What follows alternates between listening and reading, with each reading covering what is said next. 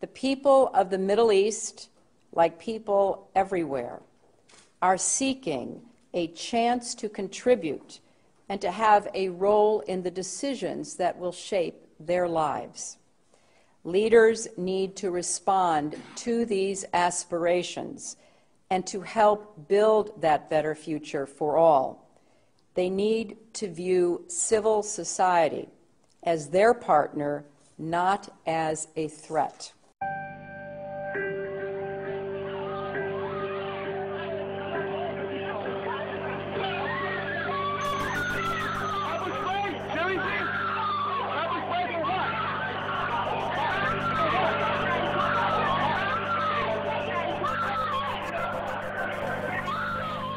Want to take this opportunity to update the American people about the situation in Libya. Last month, protesters took to the streets across the country to demand their universal rights and a government that is accountable to them and responsive to their aspirations. But they were met with an iron fist. Freedom of assembly, freedom of expression, and freedom of the press Come here. Risk.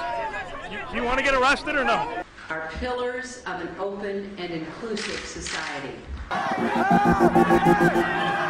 There is a clear responsibility by the Egyptian government to hold accountable those responsible for these attacks.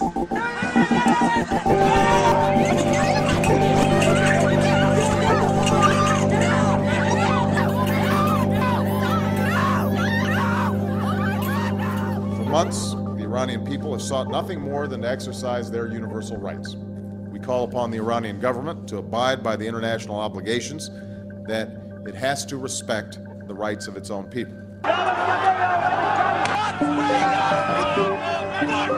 We call for the immediate release of all who have been unjustly detained.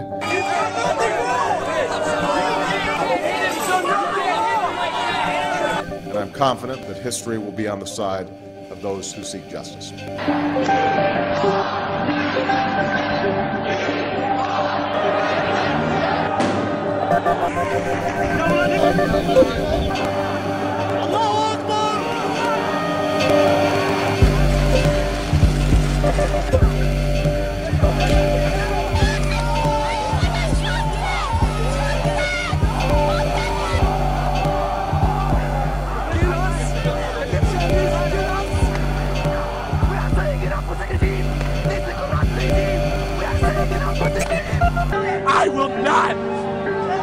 Stand by and just watch.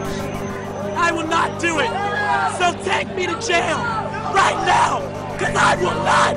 After all that my parents gave me, I can't do one thing for them and tell them that I would rather die than be quiet and watch everything that they worked for go away. when all of God's children, black men and white men, Jews and Gentiles, Protestants and Catholics, will be able to join hands and sing in the words of the old Negro spiritual. I'm not moving. I'm not moving. And I'm not moving. I'm a law student at George Washington University. And I'm not moving.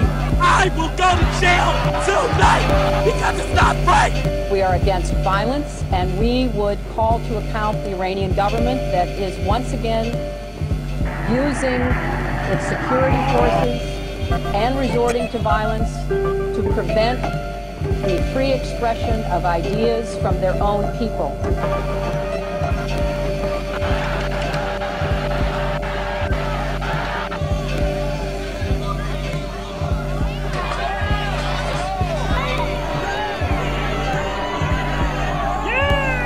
Instead of respecting the rights of his own people, Gaddafi chose the path of brutal suppression.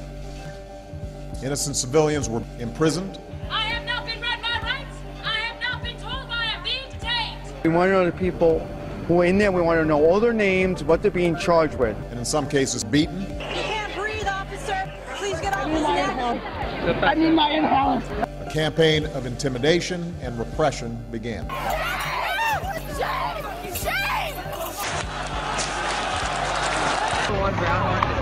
It is the responsibility of the government of Libya to respect the universal rights of their own people, including their right to free expression and assembly.